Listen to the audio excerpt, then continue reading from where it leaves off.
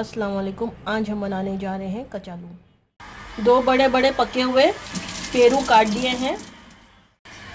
चार पके हुए केले, ये भी काट देंगे। आधा नींबू निचोड़ देंगे।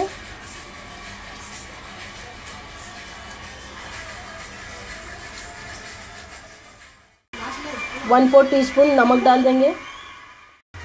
Half teaspoon chaat masala powder डाल दिया है। Half teaspoon pepper powder डाल दिया है। हाफ़ टी स्पून लाल मिर्ची पाउडर डाल देंगे। शक्कर डाल रही हूँ मैं। शक्कर आप अपनी मर्ज़ी से डाल सकते हैं। दो टीस्पून शक्कर डाल दिया। तीन, चार, पाँच टीस्पून शक्कर डाल दिया। आप, आपको इसे ज़्यादा डालना है तो ज़्यादा डालिए। सब कुछ मिक्स कर लेंगे।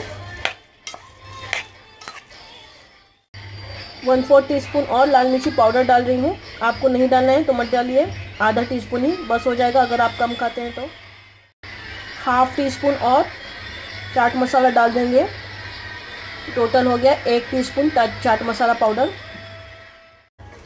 One four teaspoon और काली मिर्च पाउडर डाल देंगे। मिक्स कर लेंगे। सब कुछ मिक्स कर दिया।